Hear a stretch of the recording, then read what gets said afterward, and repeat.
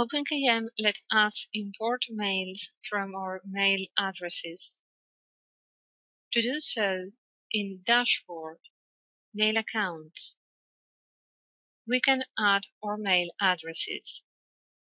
Clicking in New Account, we will see the form where we should enter the configuration details of our email account, such as protocol, server, the user mail address, password.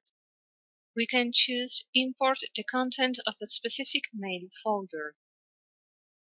In this case, we will choose the OpenKM folder of my Gmail account, where we have three emails. We can also select mails as unread, read, or maintain it. We will activate the configuration and we check it. We save the changes. We can too delete our mail address or apply more filters. Now we will apply a filter in the folder where we'll import the emails.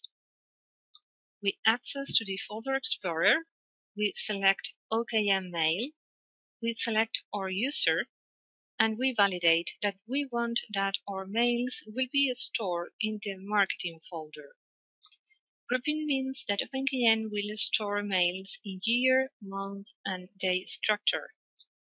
We activate the filter and we save the changes.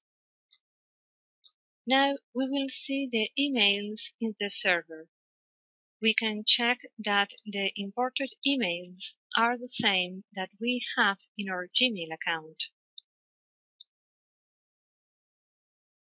We will select those that we want import. This process is made automatically by OpenKM each 30 minutes by default.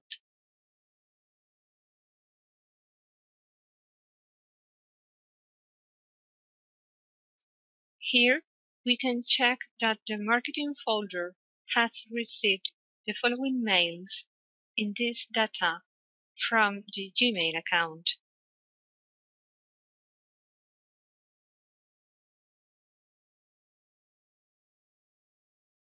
If we click in Mails button, we can see the imported mails from Gmail. We can preview them. Even we can have a look on the source of the mails.